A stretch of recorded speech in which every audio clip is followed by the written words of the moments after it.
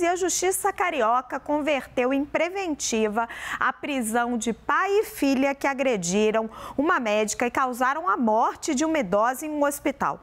Rodrigo Monteiro entra ao vivo com a gente e atualiza essa história, que é uma história ontem que a gente falava é escabrosa. Conta, Rodrigo.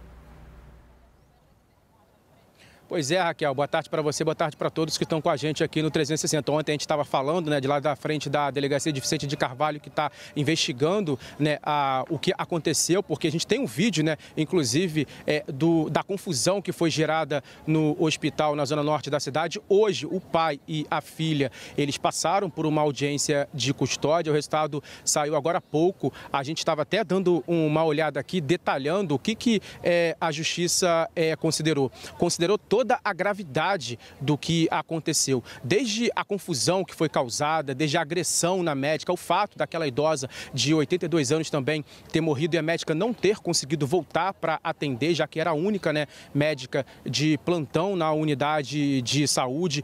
Considerou também a, a gravidade desses dois, se eles voltassem, né, se eles fossem soltos, o que, que isso poderia representar, não só para a médica, né, para a vítima, mas também para as outras pessoas.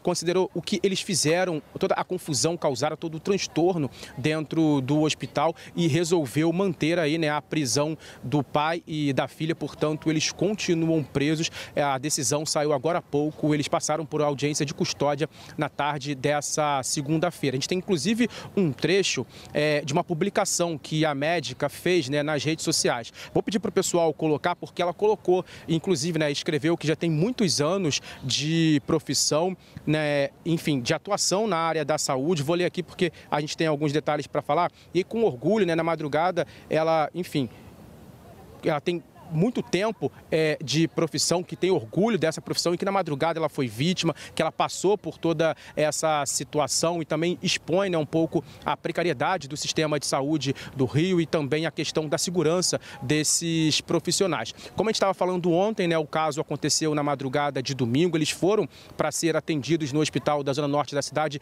O pai estava com um corte no dedo, não aceitou esperar depois de ter passado pela classificação de risco, não aguardou o atendimento, queria que, fosse, que fossem atendidos na hora. Tinha uma única médica de plantão, a médica vai ver o que estava acontecendo, eles começam a depredar tudo, a agredir a médica com socos. A médica levou cinco pontos, né? teve hematomas, ficou ferido. Teve um outro paciente, inclusive, que teve que se abrigar, um infartado, que teve que se abrigar num banheiro. Uma idosa que estava também em estado gravíssimo, teve uma parada cardiorrespiratória e morreu na hora. Então, portanto, todas essas situações foram consideradas pela justiça e eles continuam presos. Né? Ontem chegaram também a ser transferidos. No domingo ela tinha sido transferida já da delegacia. O pai foi transferido. Eles vão permanecer no presídio aqui no Rio de Janeiro. Raquel.